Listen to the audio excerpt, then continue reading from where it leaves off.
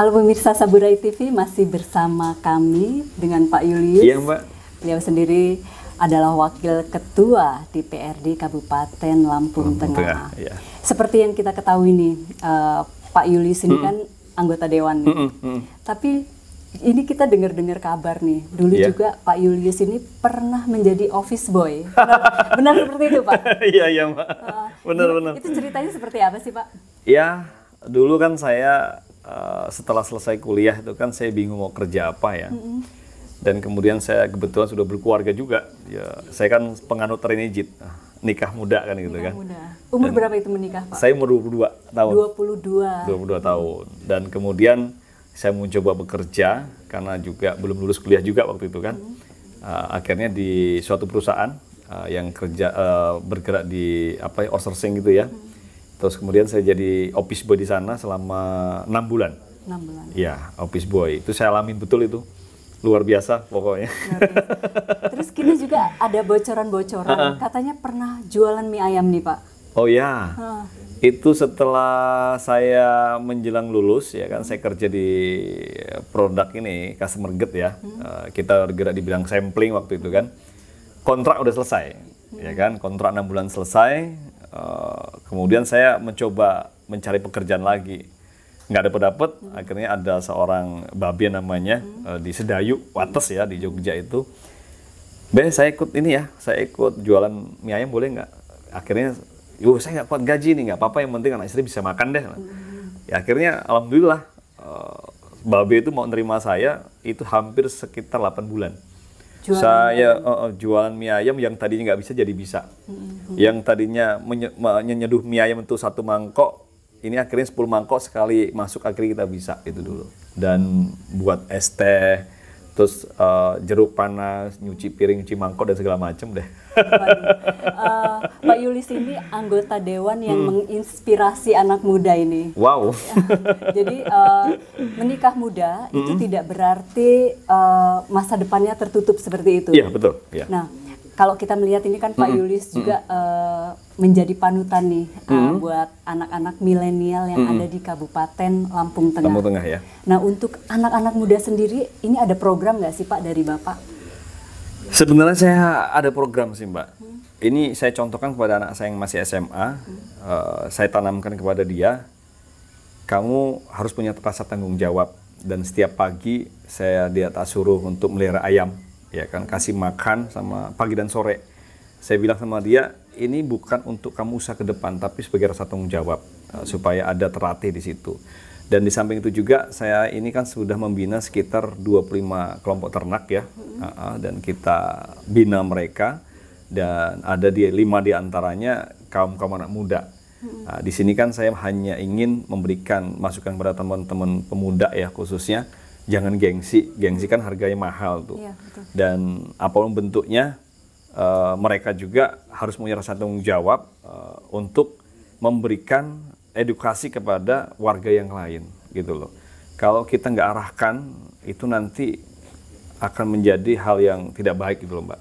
Jadi sekarang ini kan banyak nih anak muda maunya duduk diam dapat duit kan mana ada seperti itu dan kita melihat kenapa saya eh, membina kelompok ternak di zaman covid ini usaha yang paling menjanjikan di ternak meskipun ada PMK cuma kan semua tergantung dari diri kita semua Ah, dengan ini kan sumber daya pakan yang ada di sekitar kita kan banyak nih karena ternak ini kan makanannya dari rumput ya kan Ini ternaknya berupa apa saja nih Pak? ada ternak kambing dan sapi Kambing dan Iya, sapi. uh, dan juga saya mengajarkan pada mereka sebelum kalian membuat kandang dan eh, apa namanya ternaknya, usahakan dan upayakan kalian ini benar-benar punya bank pakan. Jadi kalau mereka di tengah-tengah mereka bekerja, eh, mereka tetap masih bisa. Dia, bukan berarti kita punya ternak kita harus ngarit di kebun-kebun tidak. Kalau kita punya bank pakan yang sudah kita siapkan ya, itu akan lebih lebih mempermudah kita memberikan eh, makanan kepada eh, ternak kita. Dan juga kita ajari juga cara fermentasi. Kayak membuat silase seperti apa. Ya fermentasi makanan untuk makanan ternak. Karena prinsip saya capek dua hari satu bulan kita nggak akan ngarit nggak akan motong rumput untuk cari cari makan untuk ternak itu Nah itu kan ada lima kelompok gitu. Iya. Nah satu kelompoknya itu biasanya terdiri dari berapa orang nih Pak? Eh, kebetulan saya menyuruh mereka ada 10 orang ya uh, yang terdiri dari ketua sekretaris bendara itu tiga orang, anggota tujuh orang. Dan kemudian saya memang mengharapkan kepada mereka yang masih muda, oh yang udah nikah nggak apa-apa, nggak apa-apa, cuman masih masih kelihatan muda gitu kan, uh, untuk apa ya, untuk memberikan contoh kepada yang lain. Iya. Iya. Karena memang uh, benar sekali di zaman yang setelah COVID kemarin Mm-mm. ini, Mm-mm. bagaimana uh, lowongan pekerjaan Iya. sendiri begitu sulitnya. Iya. Jadi memang anak-anak muda ini harus diarahkan ke Betul. jalan yang benar ya Pak ya. Dan, dan mungkin ini salah satu jalan keluarnya seperti itu. Karena kalau tidak diarahkan nanti juga malah berbuat hal-hal yang kurang Yang baik kurang baik, dan iya. negatif seperti itu. Iya. Jadi ini merupakan juga jalan bagi mereka untuk melakukan inovasi, Ya. kemudian juga eh, melakukan jangan gengsi, Jangan gitu gengsi, jangan ya. gengsi Hmm, jangan seperti gengsi. itu. Iya. Nah, program-program ini sendiri ada kendala-kendalanya tidak nih Pak? Banyak kendalanya. Bisa diceritakan ke pemirsa begitu Samudra TV? kita begitu kita buat kelompok wah kok susah pak oh prosesnya seperti ini pak gimana anu pak Ilyos ya saya bilang ya kalau kalian mau berhasil ya harus susah-susah dulu saya bilang gitu kan. Kalau kamu nggak berhasil ya sudah kesempatan nggak datang dua kali. Kalau kalian melepaskan kesempatan ini ya mohon maaf saya nggak akan menawarin dua kali ya kan? Dan memang anak muda ini pengennya serunya instan. Gua kerja hari ini langsung dapat banyak. Gua duduk santai ngerokok ngopi gua dapat duit. Ini nggak bisa seperti itu gitu kan? Memang harus men, apa memberikan penekanan penekanan bukan dengan cara ini ya bukan cara keras ya. Kita eh, berikan edukasi secara rasional kepada mereka. Ini seperti ini loh proses seperti ini loh proses seperti ini loh. Yuk kita praktekin. Saya aja mau pegang pegang kotoran hewan yang punya kantor bilang. Apalagi kalian. Nah, Ya, untuk itu ayo kalian harus gitu loh, memberikan contoh yang baik. Dan saya juga mengajarkan kepada mereka, jangan pernah kalian tergantung dengan produk-produk yang serba instan. Seperti hal pupuk, saya bilang gitu kan. Pupuk ini kan, kita menjalankan pupuk akhirnya ini ya. Nanti ada konsep ke situ juga sih. Sekarang ini pupuk ini kan eh, masyarakat dimanjakan oleh itu. Ya. Ya kan, kalau nggak kimia nggak, nggak ini. Dan bagaimana kita juga eh, semua tahu pupuk itu susah sekali Susah, kan iya. didapatkan. Nah, Sebenarnya nggak nggak susah, Mbak. Asal petani itu tidak malas. mm-mm. Mohon maaf saya bilang malas. Orang proses pada saya nggak malas sih. Memang malas gitu kan. Sedangkan pupuk ini gratis sebetulnya. Kita melihat peternakan sapi atau kambing kan banyak di sekitar kita. Itu bisa difermentasi, ya kan? Difermentasi untuk eh, apa namanya memupuk tanaman kita. Kita memupukkan paling banter satu kali tanam hanya sekali sekali pupuk ya. Sedangkan masa tanam itu ada yang empat bulan, ada yang enam bulan ya tergantung jenis tanaman yang kita tanam ya. Di situlah kita pengolahan itu. Setelah pengolahan itu baru kita praktekkan. Orang zaman dulu aja nggak pakai kimia bisa. Bisa. Apalagi sekarang yang lebih modern eh, cara cara Semua cara. informasi mudah didapat. Nah, iya kan. Kalau kita nggak coba fermentasi ya kita di, ada di Google kita bisa ngelihat bagaimana caranya kan seperti itu.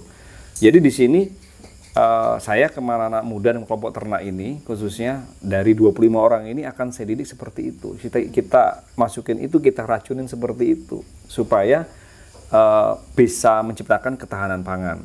Saya beda dengan ketua. Kalau ketua kan kedaulatan pangan. Kalau saya menciptakan ketahanan pangan gitu loh. Jadi ini manfaatnya bisa dua sisi. Mm-mm. Eh, peternakannya jalan, Iya. kemudian kita juga bisa memanfaatkan pupuknya Betul, untuk ya. masyarakat Betul. yang bertani khususnya Iya, ya yang Pak bertani, ya. Jadi eh, ternaknya dapat, pupuknya dapat, jadi semuanya seiring sejalan Betul. seperti itu ya Pak Iya, ya. Iya. Nah, untuk anak-anak muda sendiri, eh, Mm-mm. kita mengacu kepada hal tadi, jadi kita mengedukasi mereka sendiri juga jangan takut untuk memulai, Oh iya, seperti itu. betul itu. Uh, kemudian juga jangan gengsi, Jangan seperti gengsi, itu ya iya. Pak ya. Nah, uh, program-program yang luar biasa sekali tentunya uh, dari Bapak Yuli sendiri buat anak-anak di sini untuk memotivasi anak-anak muda yang ada di Kabupaten Lampung, Lampung Tengah. Tengah. Iya. Nah, untuk itu Pak, kita ada pesan-pesan ini buat uh, adik-adik di Kabupaten Lampung Tengah. Tapinya setelah yang berikut ini. Berikut ini. Eh, jangan pernah alergi untuk datang eh, ke kantor DPRD karena peluang-peluang banyak di sana. Apa keluhan kalian pasti kita akan dengarkan.